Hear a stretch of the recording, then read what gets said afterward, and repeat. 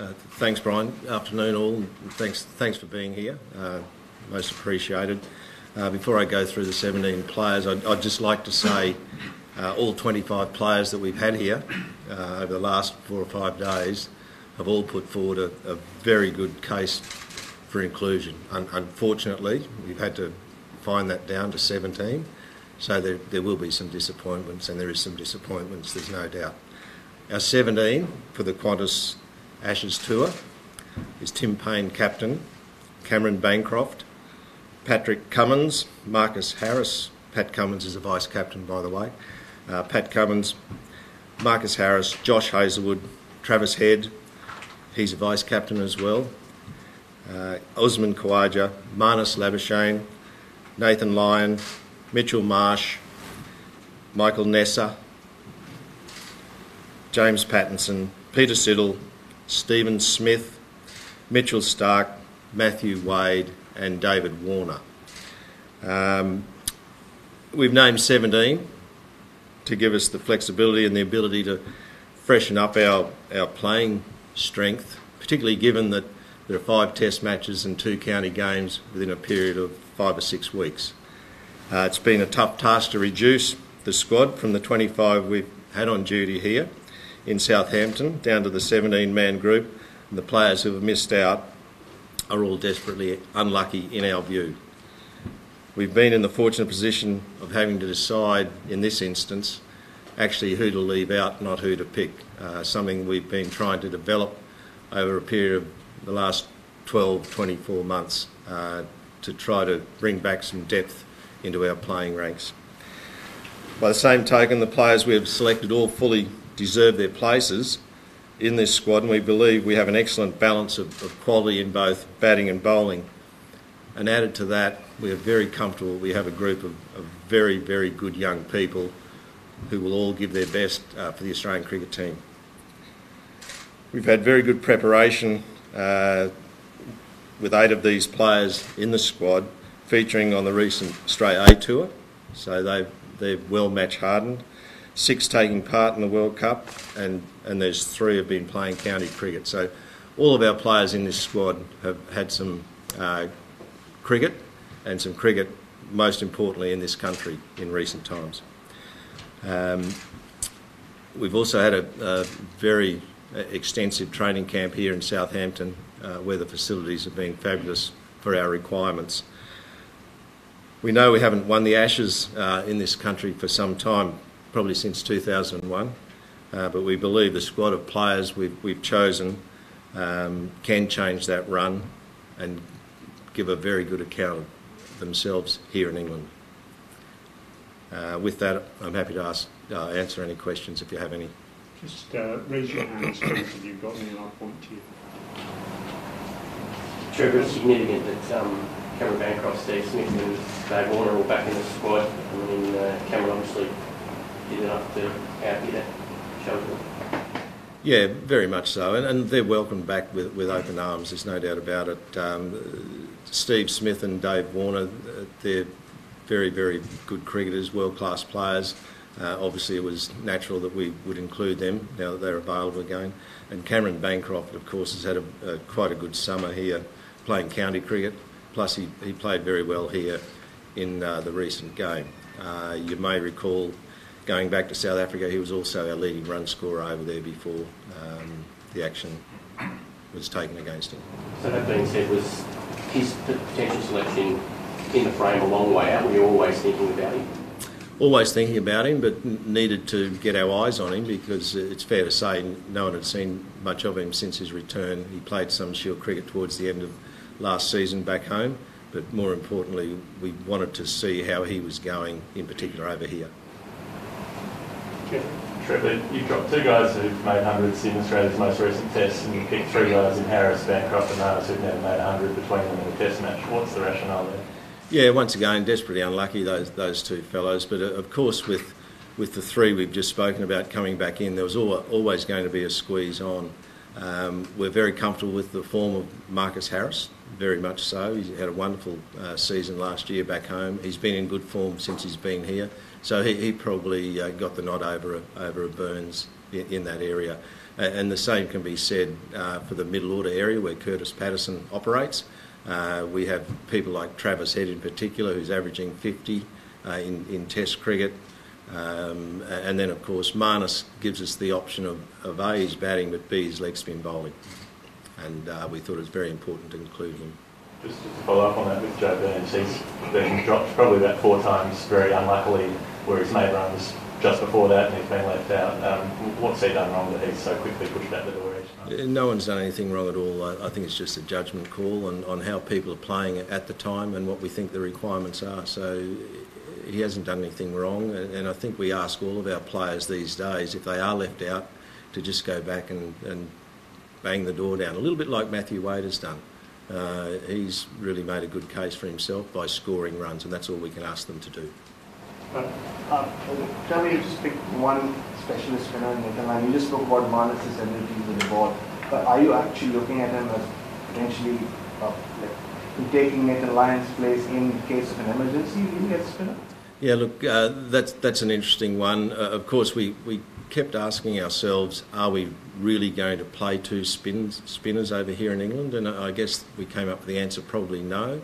Uh, and we thought it would be handy to have a spinning all rounder or batting spinning all rounder in the squad to complement Nathan if we wanted to go down that path. If anything was to happen to Nathan short term, we could contend with that. Um, but if there was anything to happen to him long term, of course, we would have the option of bringing somebody else in.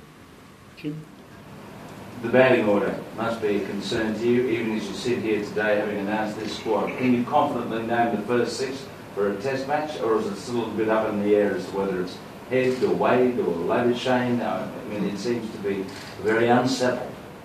It has been, Jim, for, for some time, there's no doubt about that. Um, and I can't sit here and, and tell you exactly what it will be right now because we, we haven't discussed it. We'll, we'll contend with that when we get to Birmingham. Uh, the area of interest probably, um, well, everywhere is probably up the top as well. There- There's, there's conjecture there as to who will David Warner's opening partner be. Uh, and then the middle order. We'll, we'll make a judgment call on that when we get to Birmingham. Rob, Um, do you, uh, in terms of sort of Marcus and Cameron, do you envisage any sort of scenario where the three, the two of them and David Warner can be in the same top six? Maybe a possibility early on. That will all depend on Usman Khawaja's fitness. Um, he, he's still recovering from that hamstring injury, uh, and if he wasn't to come up for the first Test match, we we may consider uh, playing all three. And how close was um, Alex Carey to, to making the cut? I suppose if something happens to Tim during the Test series, will um, that take the away with you? Yeah, very, very uh, tough question. Well, not so much tough question, but tough call that one on on Alex. He- He's been in very good form as we saw in the World Cup. Uh, we know once again in the short term, if anything was to happen to Tim Paine, either during the game or what have you, uh, we have two people in that squad that can cover. But if it was to be a long-term injury, that's where Alex would come in, and he's still in the country, and we'd have no hesitation in calling him in. Further to how much of a factor was, I guess, that he had to go home with post-viral fatigue, sort of lost that momentum, I guess, playing county with continuity, and then coming back, uh, coming back here, like, did- in, with that basis, you kind of need to make a call for Australia, right, to, to, to just?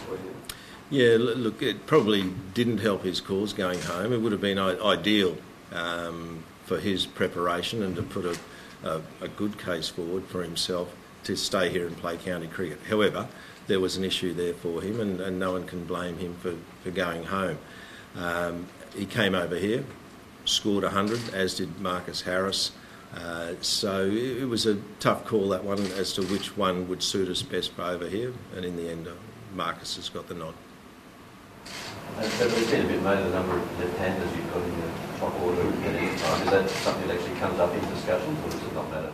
Yeah, it's, it, it certainly does, and it's nice to have a sprinkling of, of right-handers there, and, and of course with the inclusion of of uh, Labuschagne, we've got Smith, we've got Bancroft, so uh, I think we've got a fair mix there now.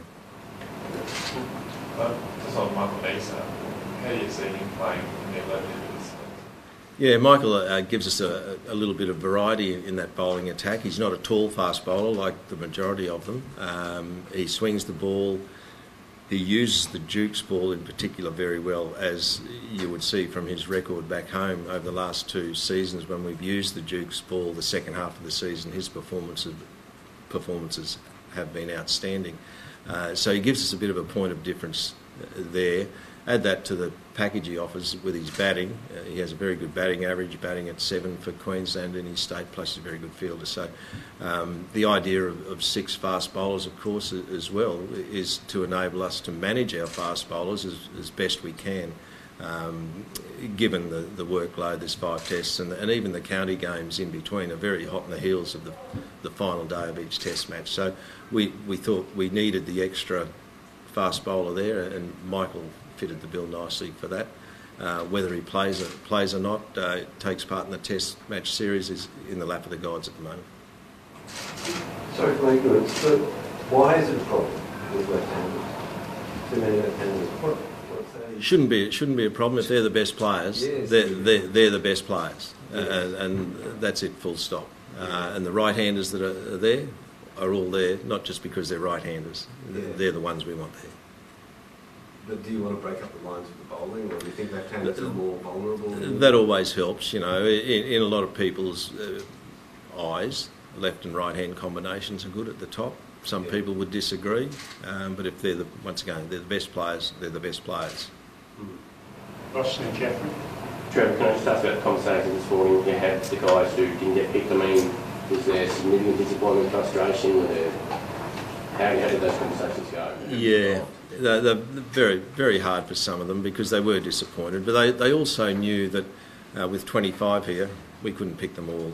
Uh, and some probably knew also or felt that they were on the line or line ball. Others thought they were a, a good chance of being included. Um, so, yes, there were some disappointments, and all we can say to those fellas, desperately unlucky, but go back and keep doing what you're doing, try to improve your game, and belt the door down. We can't say much more to them. It's just the way the selection has gone, and desperately bad luck.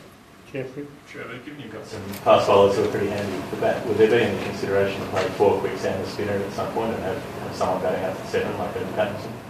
Depending on conditions, but uh, at the moment that hasn't entered our mind. We would have to see how, how the series going uh, is going and the conditions that, that prevail at, at the time.